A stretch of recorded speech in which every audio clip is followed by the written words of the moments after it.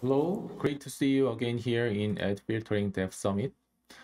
A year ago, I shared the HAS prototyping status in the previous summit with Brian, Stank, and Andrea.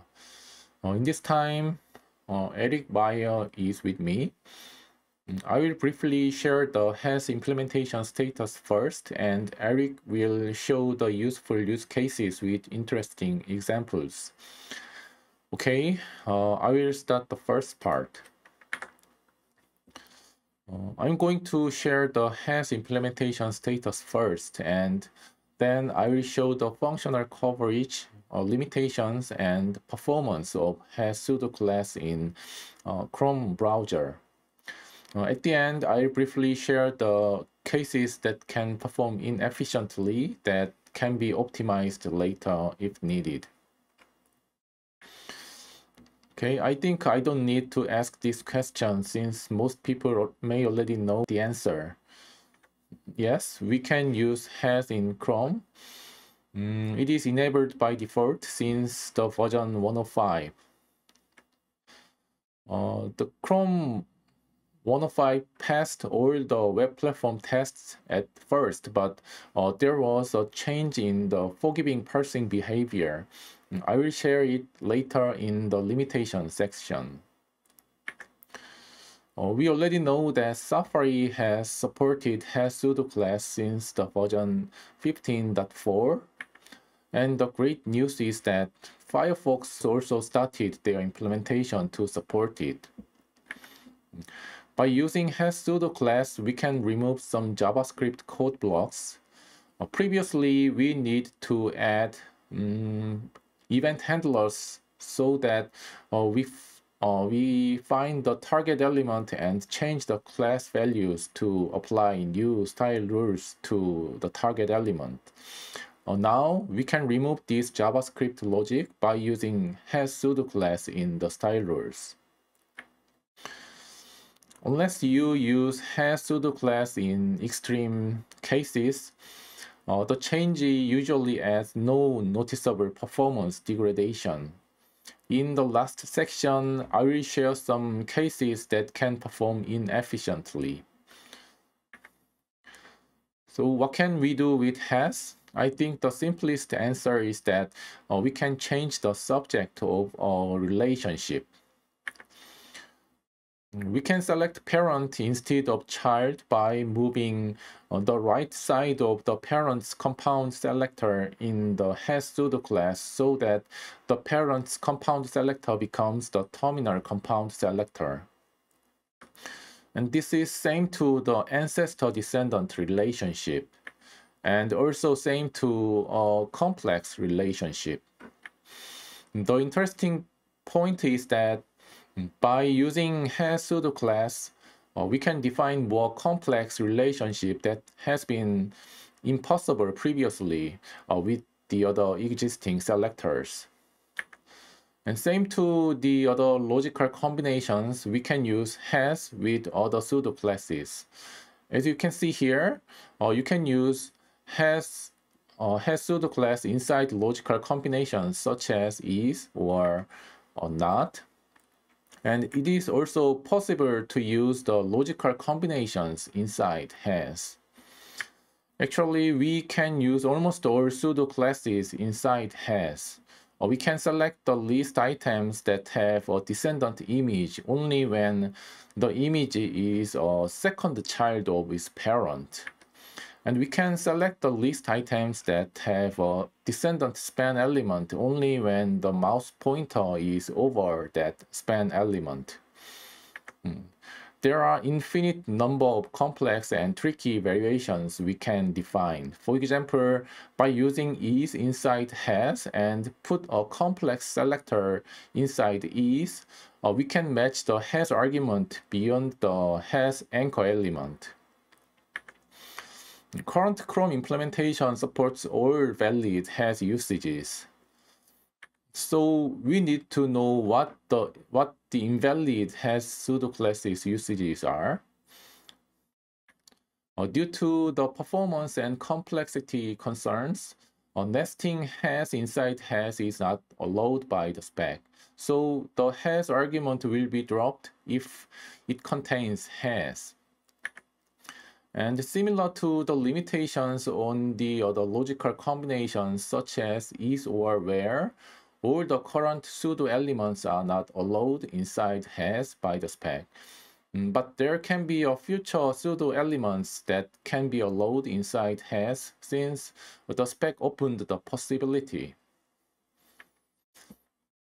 Uh, using has is not allowed inside pseudos when the pseudos only accept compound selectors. Uh, for example, uh, using complex selector inside slotted or host is not allowed. Mm, same to this, uh, using has is not allowed inside these pseudos. Mm, we can uh, we can understand this easily by the fact that has pseudo class implies a relationship between two or more elements. Uh, using has inside these pseudos makes exactly same problem of using complex selectors inside those pseudos. For your information, um, there is an ongoing discussions discussion of allowing complex selectors inside slotted and host. But it seems that it is a complicated discussion since it can cause performance issues that are slightly different for uh, different browser engines.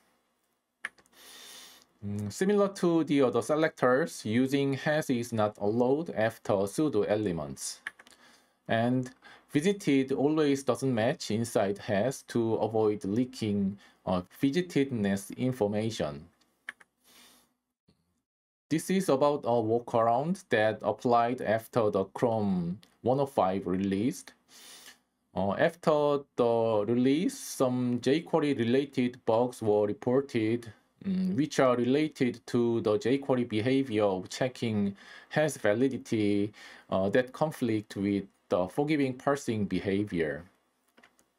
To avoid this, a workaround was applied by referring the current WebKit behavior.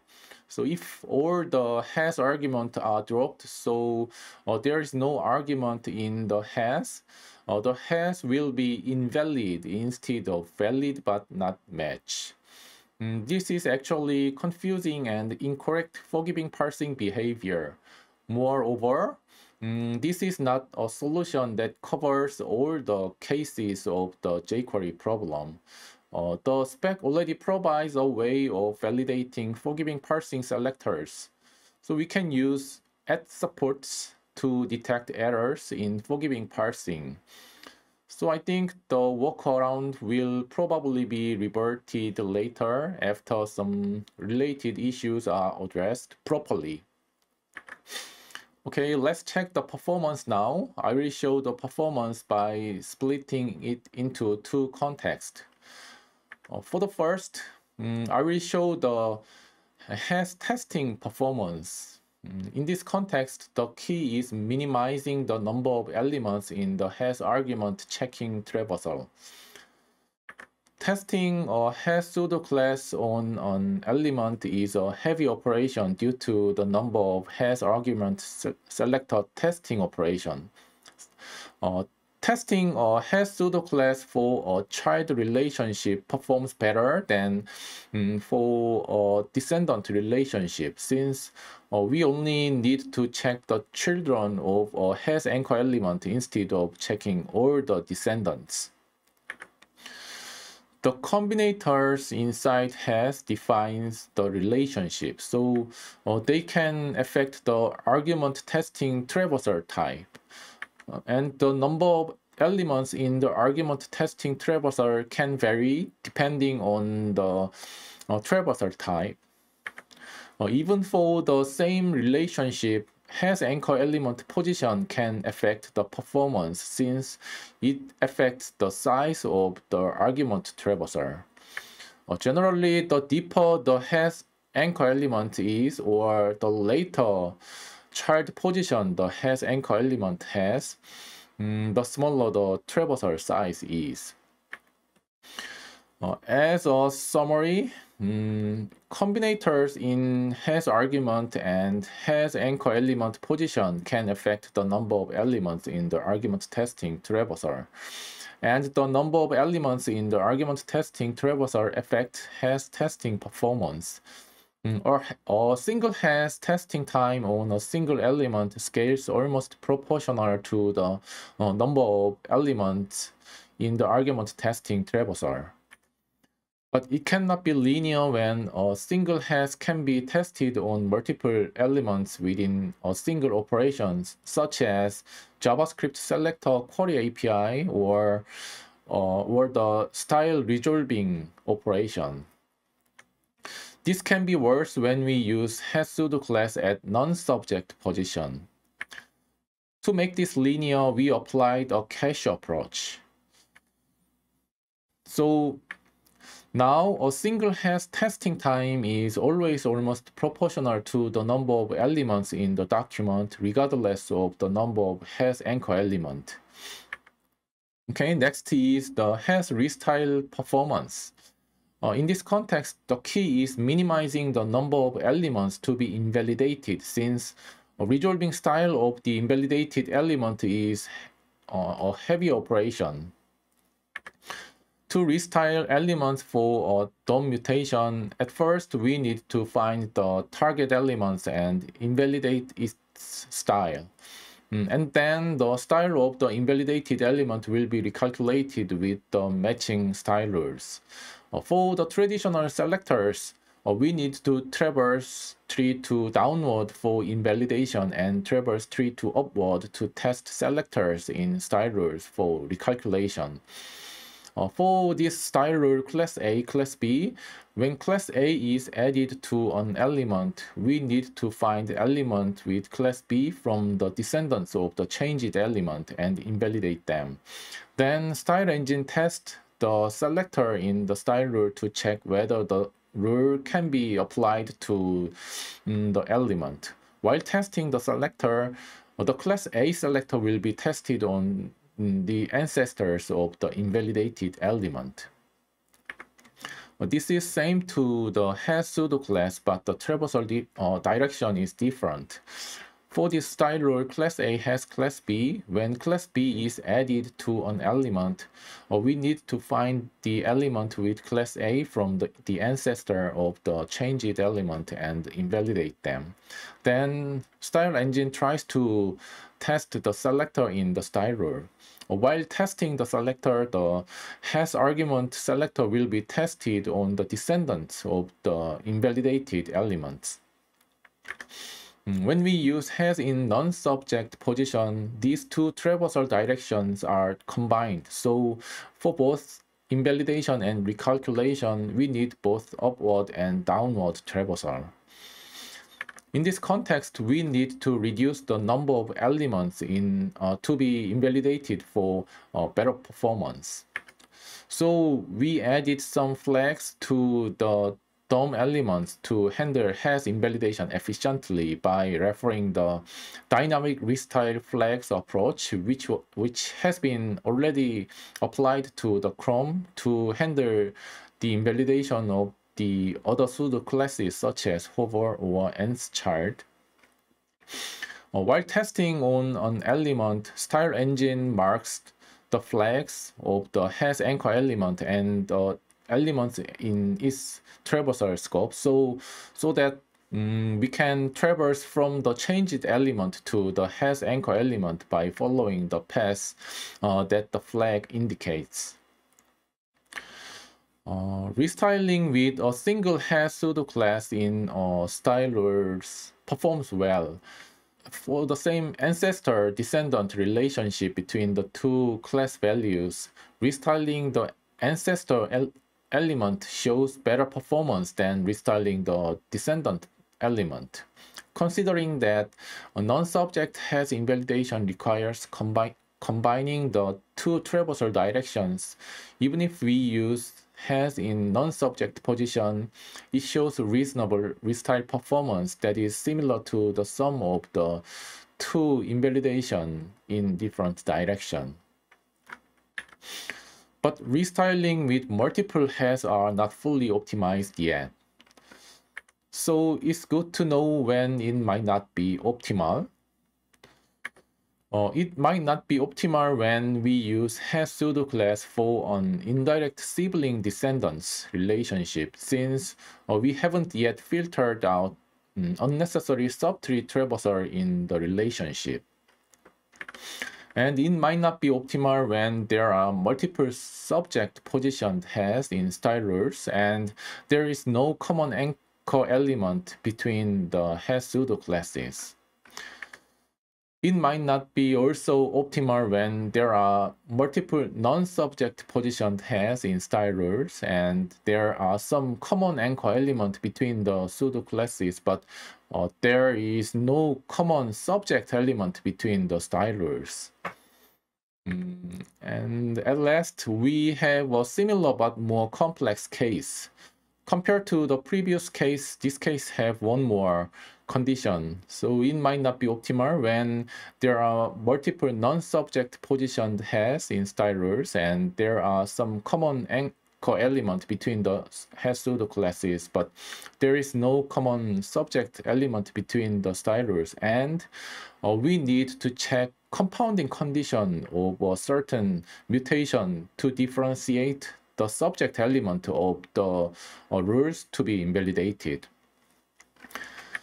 to prioritize these uh, remaining enhancement, uh, we need some feedback from public. So uh, please let us know how common and important these cases are and how critical they are to their performance. Okay, this is the last of my slide. Thank you for listening. I'll pass the turn to my colleague Eric Meyer.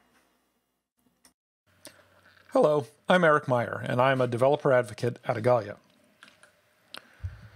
So, for the last little while, AdBlock Plus has had uh, the ABP has, or the dash ABP has, uh, pseudo pseudo class, as it were, um, made possible by a JavaScript polyfill. Well, thanks to work basically by Byungwoo and uh, Igalia in general, this is now going to be replaced with actual CSS pseudo class from the CSS specification. Now, Byungwoo did talk about the current support status, but I wanted to make clear just how recent and rapid the adoption of this new feature has been. So this was the status of browser support in late July of this year. You can see that uh, Chrome, in, Chrome it was available behind a developer flag and planned for release in, in Chrome 105. And uh, the Safari folks, the working on WebKit, got the jump on us once they saw that we were working on uh, has for Chrome. They uh, decided they would uh, ship it more quickly, so they got it out in Safari 15.4. And there was no uh, indication of work happening in Firefox. So, as I say, that was the state of browser support in late July of this year. It's about two and a half months ago. And this is the state of support as of late last month. Um, as Byungwoo mentioned, Igalia's work on Chrome is now available in public releases of Chrome on desktop and mobile, uh, as well as in Chrome for Android. And uh, Safari continues to ship, uh, has support in WebKit for both desktop and mobile. And Firefox's work on has was, as of uh, just a few weeks ago, in the developer preview stage. It was uh, enabled behind a developer flag. And there are plans to move to public release by the end of the year. Now, note I say plans. Plans can change. Uh, could be a little bit sooner than the very end of the year. It might be a little bit past the end of the year, but the end of the year is not that far away. So uh, hopefully that will that will uh, appear in public releases of, of Firefox and thus uh, Firefox for Android and any other code base that might uh, depend on the uh, Gecko rendering engine um, here in the next very little bit. But I mean, what's the big deal? You can say that A has B. Uh, so what? I mean, yeah, that that's kind of cool. But the thing is, there are so many patterns that has makes possible. I mean, this, is, this isn't just a parent selector, and it isn't even just an ancestor selector. You can select other elements based on a matching has element. You can create preceding sibling selectors, for example, and, and so much more. I mean, the list just goes on and on. Let's take a look at the first two of the examples from the previous slide, which are relatively simple. The first one here, P has A, will select any paragraphed element that has an A element as one of its descendants. So all three of these paragraphs are selected because they have an A element as a descendant. It doesn't have to be a child. It can be a, a grandchild, a, a great grandchild, however however many great levels there are, child. Um, however many uh, you know selectors are between the paragraph and the and the anchor elements. Um, in the second case, uh, however, in the in the right side of the screen, by adding a child combinator, which is that greater than symbol, only paragraphs with a child IMG element will get matched. So the first case here matches because the only descendant element it has is a child IMG element. And the third case matches, the one at the bottom, because while the first IMG actually is a great grandchild, there's a couple of spans around it, the second IMG is a child of the paragraph element. But the second example here isn't matched because the only IMG element that descends from that paragraph isn't a child of the paragraph. The span gets in the way and prevents a match here. Because we added that child combinator, the greater than symbol, in this particular has selector. So you can see that what it's saying is looking for a, an IMG that has a child relationship to a P element.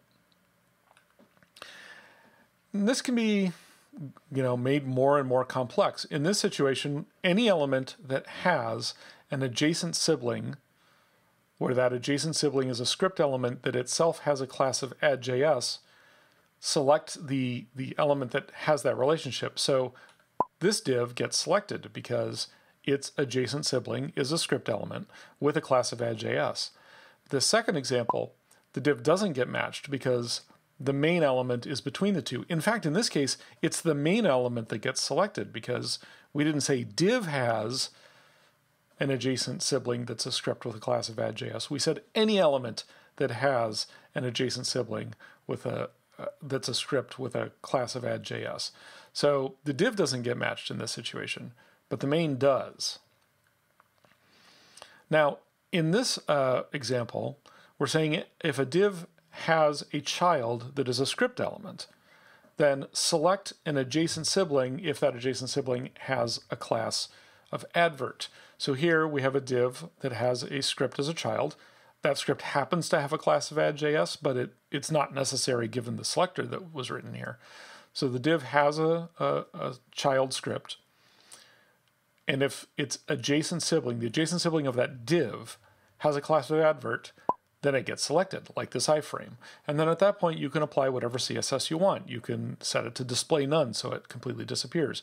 You can absolutely position it uh, 9,999 pixels off the left side of the screen, so that it similarly kind of disappears, but yet is still technically part of the document. Uh, you could set its opacity to zero. You could invert it using a filter. Really, whatever you want to want to do with CSS, you can do here. Now in this case, it's the same selector, but there's an image now between the div and the iframe, which means this iframe isn't going to get selected because there's something in between the div that has a child script and the class, uh, the element that has a class of advert. Now, if you added a class of advert to the image, then it would get selected, but didn't do that here. So uh, this selector just isn't matching anything given this markup. Now, Byungwoo talked about how you can't have a has inside a has for performance reasons, um, although that may come in a future version of the CSS specification, uh, depending on uh, implementation experience uh, from uh, browser vendors or from third parties like Igalia that are working on uh, selector engines. Um, it's possible that in the future you will be able to nest has and has. But When I say the future, I mean, you know, in a year or two maybe. And that's if the problems can be overcome and the working group and all of the browser various browser vendors agree to allow has inside of has. For now, that's not possible. But you can have multiple hases in, in a selector. They just can't be inside each other. So in this case, we're looking for any div that has a child script element. Just has to have a child script, that's all. And then if its a adjacent sibling, whatever element kind of element that is, has a descendant with a class of advert, then you select the actual div that has that class of advert. So each of the of the sort of top level elements in this example are being operated on with has uh, conditions. So the first div, okay, it has a child of script, so it's sort of flagged internally as yes, this div matches this condition. And then the second div is an, is an element that has a descendant with a class of advert. So it gets flagged as yes, that this particular element satisfies this this other condition. And then when you say, well, if an element satisfying the first condition is immediately followed by an element uh, matching the second condition, then uh, select that second element, which is what happens here. But one of the interesting things is that, um, well, in this case, we can say, hey, any div that has a following sibling, uh, and that following sibling is a script element with the class of add.js, and the div is inside of a header, then go ahead and select it. So that's what happens here is, you know, the, the div has uh, a following sibling that's a script element with a class of add.js, and it's a descendant of a header. Great, the div is selected. But we can use similar patterns just by shifting the has a bit to, and, and, and how this is set up so that this is this is almost like an arbitrary sibling selector. So in this case, what it says is if a header has a descendant that is a script element with a class of add.js, then select any of the header's descendants that have a class of advert, which in this case selects this class. Even though the script comes after the div with a class of advert, it's basically what we've set up here is arbitrary sibling. It can be a sibling before the div, um, in this case, before the element with the class of advert. It can be a sibling after the div with a class of advert. Doesn't really matter. Uh, just in this case, does the header have a script uh, with a class of add.js? Great. If it does, then any of its descendants with a class of advert, select those and apply whatever CSS you want. And we can make this even more generic to do something um, not sure if it's uh, super useful, but I imagine if there's a case where you want to do this, you will be really glad this exists. So this uh, selector is uh, quite a bit more universal, as it were. This says any element that has a descendant that's a script with a class of add.js. Select all of its children, like that. So all three of these elements are selected individually and then can have whatever CSS uh, you want applied to them. If you set them all to display none, it's kind of the same as if you just selected the header. But uh, if there's a situation where you want to uh, make the image and the div in this header like collapse down and then maybe be revealed on hover or focus or both, whatever. Um, but this selects uh, all of the descendants, all of the children, excuse me, of this element that has uh, a descendant with a uh, that's a script with a class of add.js, including the script itself. But you need to be careful here. This is an example of how I, I wrote this selector too broadly, really. And let me uh, explain how with a different example. So I took this markup example um, and this uh, this selector from uh, a test page that eyeo set up to to test the implementation of has. Basically, what this says is div has a descendant, and that descendant has an aria label attribute that with an with a value of sponsored. So if we look at this, any div that has a descendant with an aria label of sponsored. But that would be both of the divs we saw before, plus this div with an ID of layout that's just inside the body and basically encloses the entire document. Now, I'm not saying you should mark up your document this way. I'm saying a lot of people do. And so by having said any div that has a descendant with an ARIA label attribute value of sponsored will get selected. So if the rest of this rule was uh, div has ARIA label sponsored, display none, that's everything in the body. You just end up with a from a rendering point of view, an empty body, even if all of that markup is still there. So uh, you do need to be careful. Um, there's another thing I want to point out, though, before we go here. Uh, well, two things. One is that I forgot to close the parentheses on my has selector here. So uh, remember to do that. That should be div colon has open parenthesis, then the ARIA label equals sponsored, and then a close parenthesis, um, which I, I missed. So uh, my bad. Um, but the other thing is that we might look at this and say, hmm, any div, well, that div in the middle, in the in the very uh, center, has a has a ARIA label attribute with a, a value of sponsored. Well, will this select that? No, it won't. Because remember, has is describing a relationship to the element that has the has attached to it. So if you wanted to select the div with the ARIA label sponsored, you wouldn't need has. You could already do that in like standard CSS2 since 1998. Um, but if you want to select a div that has a descendant or a child or an adjacent sibling or a following sibling or you know any other number of possible relationships, if you want the div to have some relationship to another element that has an ARIA label attribute with a value of sponsored, then you reach for has. So there's a lot that has makes possible. I mean, I've just barely scratched the very top few layers of paint on the surface of the possibilities of what uh, what has can do. Um, maybe a way to to sort of keep in mind what it means is that it kind of means has relation, like B has a relationship to A. Um, you could also think of matches. Uh, jQuery's matches, for those of you who are familiar with it, shares a lot of similarities to what has does in CSS. But you might ask yourself, okay, but we already had like a JavaScript polyfill to, to make this happen. Why do we need a CSS pseudoclass? Um, why, why native CSS? Well, there are really three reasons, and these are them. There's performance, that and that performance is about as good now as uh, JavaScript solutions, and this is the beginning of CSS has optimization. Uh, Byungwoo talked about uh, future optimizations that have yet to be done. And yet, without those optimizations in place, the CSS, the native CSS has, is about as performant as the uh, as, as old JavaScript uh, solutions that, that did basically the same thing. The performance is only going to improve as new optimizations are found and implemented for has itself, as well as for CSS selector engines in general.